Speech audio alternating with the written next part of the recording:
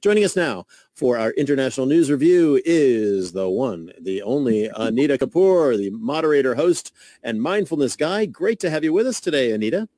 So good to see you guys. I feel uh, a little bit lost though because I do not have Money FM stuck on my wall behind me. well, well, maybe we can send something. Anita, over. there is so much Money FM around us. I dream Money FM. I wake up screaming Money not, FM. Not always a dream, I might add. Yeah, not always a dream. not always a pleasant dream. But anyway, um, Anita, thank you. You're you're filling in today for Steve Okun, who is uh, traveling in the U.S., and we we do appreciate it. Let's jump right in uh, to one of our big stories, which was uh, the United Nations was voting to suspend Russia as a member of their Human Rights Council, and um, and Singapore decided to abstain from that vote. Uh, what do we know about this story? Because it's been across the newspapers uh, for yesterday and today. I just want to say, filling in for Steve Okun, hello guys. Uh, there's a really big shoes to fill, so this is really just my take on it. I mean. Um, I think for most people, it was a surprising decision to abstain, considering how I think Singapore has, I think from day one, condemned the Russian invasion of Ukraine. But they are also co-sponsor of the resolution 491, if I've read it correctly, and which that resolution actually mandated the Commission of Inquiry. So it's not really that much of a surprise. It's quite a prudent step. Uh, what I found was you know, I know this is a very, very sensitive topic, but I thought it was really childish in that sense. You know, Russia was suspended and then they left. You know? mm, so yeah. the questions that came to my mind were, okay, uh, and Tan Jo Fee actually, uh, she did take to the stage to the stage and explain why Singapore had abstained. She's a Singapore's deputy permanent representative to the UN, and she said there must be accountability for any gross and systematic human rights violations that have taken place in the conflict in Ukraine, and we urge all parties to cooperate with the Commission's work. So the first thing I asked myself, though, is a couple of things. How and when does an inquiry take place in a situation that Russia and Ukraine are in at this moment? We've seen a lot of the photographs. They are horrible. Um, they're extremely disturbing. That's what's coming up. When does this actually happen and how can it happen? Uh, the other question I want to ask is that they've been suspended and they've left. So does mm. then the commission actually have any power to mm. conduct um, any any inquiry in the country in, yeah. in, in, itself? Good question. So, You know, because uh, I, I, thought, well, okay, they've kind of taken back the power because they suspended, but they didn't stay in suspension and they've actually left. So right. I do think that it's a very prudent decision on the part of Singapore. The activist in me is like, you know, no, but at the same time, I think um, running a, a, commission of inquiry quickly uh, is very, very useful. But can it be done in the midst of a war is my other. Yeah. And that's the key point, isn't it, Anita, that you mentioned there you know, we need an inquiry. What is it going to take? Glenn and I attended a, fascinating, albeit rather depressing, uh, panel discussion this week with the Ukrainian ambassador, the Estonian ambassador, and a Ukrainian lawyer activist who has recently returned from the border doing extraordinary humanitarian work. And Glenn actually asked a very interesting question about the red line. What is the line that needs to be crossed at this point? to need some sort of decisive action. As I'm seeing now, that train station attack that happened overnight in Kramatorsk, the death toll has now risen to over 50. Yeah. Um, there are children amongst the victims. It says five children is the latest news. Now, this train station was a civilian train station, and there were civilians there, up to 4,000 at the time. The death toll has now surpassed 50. That's the question, isn't it, Anita? At what point does a red line? Where is that red line? Where does it have to be crossed before we go to the next step? Yeah, exactly. And I think, you know, the problem we're also facing is that we're living in social media times. On one hand, we are seeing as much as we could possibly see almost to the point of overwhelm. At the same time, believe me when I tell you, and I spend a fair bit of time on social media, there are actually people writing comments that say that this is a setup you know, that yeah. this couldn't possibly have happened. And I'm thinking, okay, where are you living in this world? And that's why I think as well, what you're saying is we have to decide who decides where's the red line and when do we actually say, okay, enough is enough? And who gets to be a part of the decisions that are made? Well, it, it is a um, yeah, it's it's not an, an issue that we can solve here, and we all know that that if a response comes from other countries, whether it's NATO or surrounding countries uh, against Russia, uh, you know, that very well could be the beginning of what everyone is saying uh, would be World War III, right?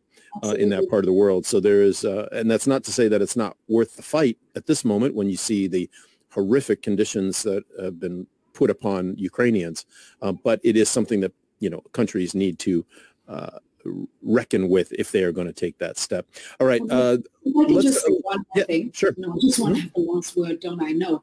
Uh, no, it's just that I think that what we're looking at is we're looking at war through the lens, through, through many layers of different lenses. And it is actually almost an impossible task for everyone to kind of come to terms because things are happening so quickly. We're seeing it in so many different ways, and that therein lies. And it's the same thing that you can apply to to anything that shocks our nervous system. Sometimes we actually have no idea how to respond, and other times we're like full for it. But you're right. There has to be a limit. There has to be because people are dying, and we are seeing them die, literally yeah. in real time. And sadly, I think it'll be, as Glenn and I have discussed on this show, when it hits our wallets. And it's going to hit all of our wallets, wallets very soon because of the food security crisis that is on the horizon mm. with regards to oil, energy, and food stocks like sunflower oil and wheat and, fer- from, and fertilizer and fertilizer, yeah. which comes from Ukraine and Russia. It's on the horizon. It's going to affect us all. Absolutely, and I think that this is the this is the issue really. Um, if we would take away what the powers that be are supposed to do. What do we as human beings get actually afraid of? What are we really afraid of? We saw it with COVID as well, right? I mean, we're buying 100 rolls of toilet paper because we are so afraid that we're not going to have any. Now what happens if there isn't any?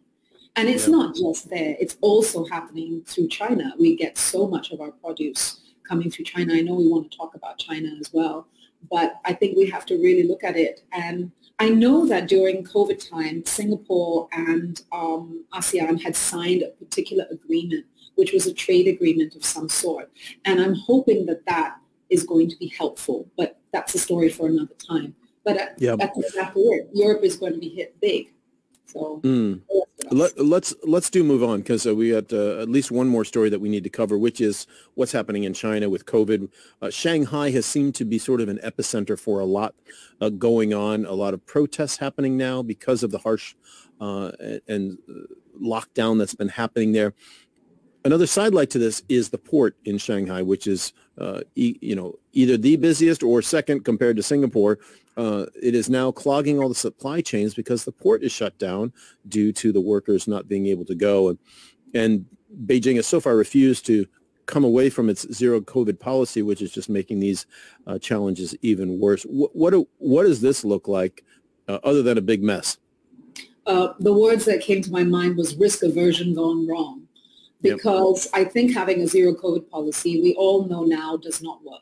Absolutely not. And certainly not 26 million people and so forth. I mean, it just is not going to happen. And I think this, this, the resolution that they have made to continue to try to have the zero COVID policy is extremely harmful to the people in China themselves, to this city, and to anybody around.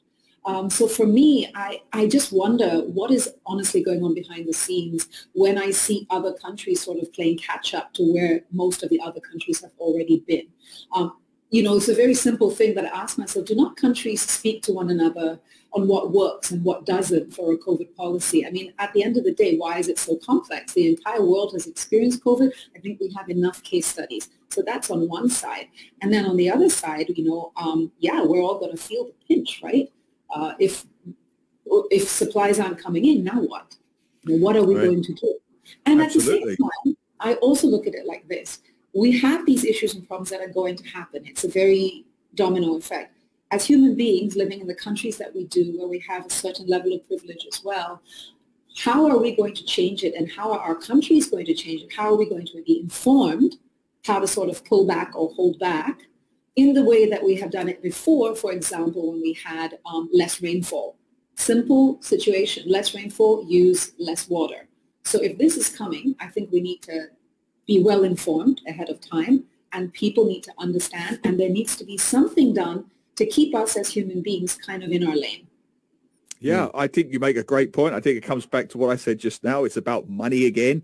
Shanghai is the world's number one container port, so it literally runs a sp- it's a spine that runs through global supply chains. It is going to have an effect on us at some point, Glenn. It will hit home globally fairly yeah. soon. And it just says more broadly, Anita, bringing it back to COVID, that as you mentioned, the zero COVID doesn't work. And it just shows you the tightrope that Singapore, for example, has to walk every day in its COVID management. Even in something as simple as masks, do you wear them, do you not wear them?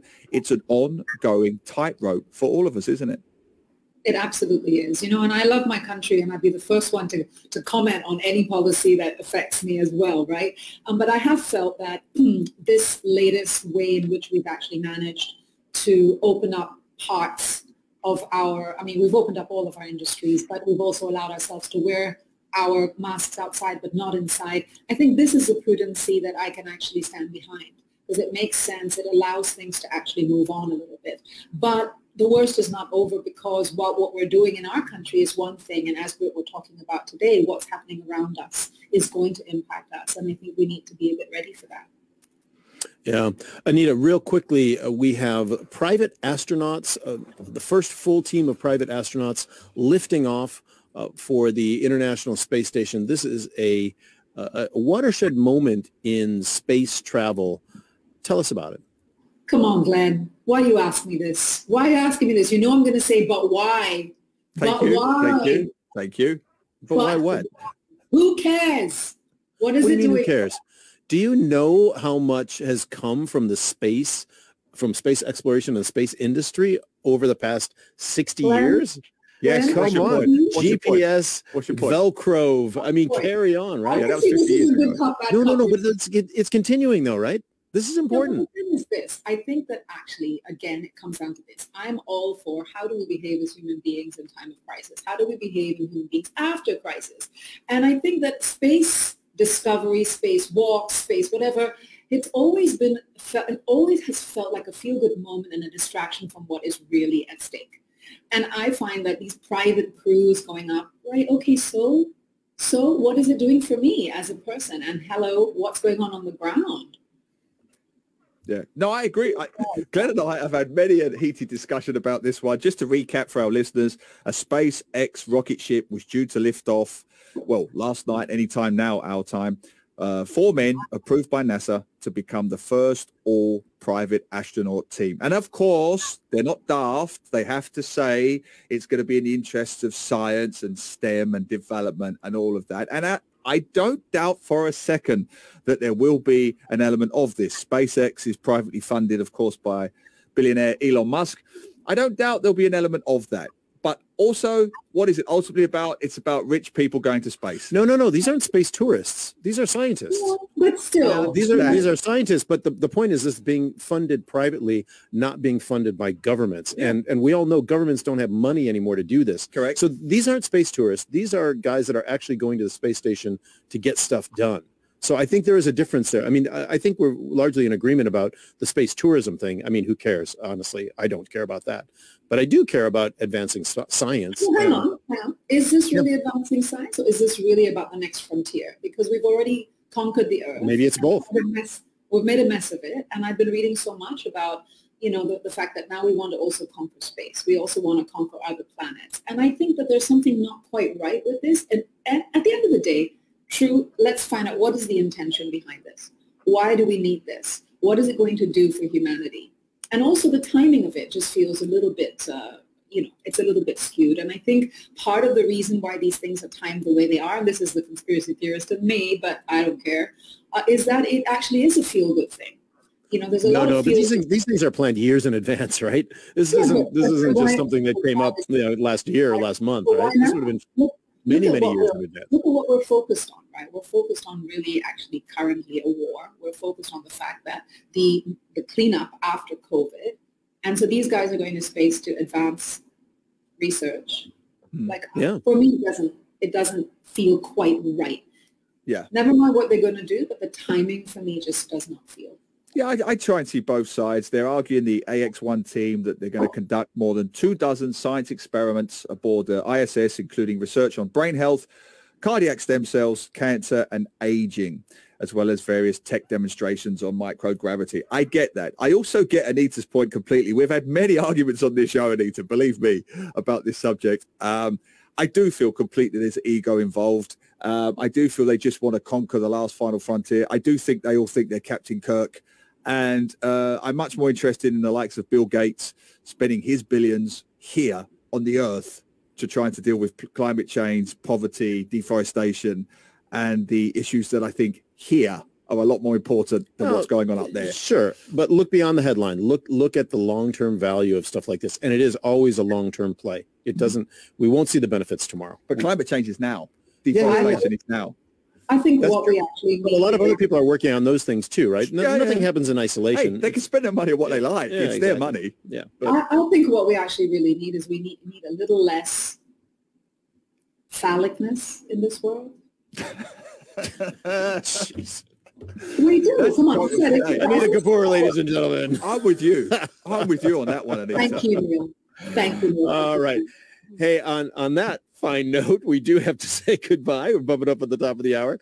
Anita Kapoor, thank you so much for being with us today. Uh, moderator, host, mindfulness guide. Always great to have you on, Anita. Thanks for your time. Thanks for having me, guys.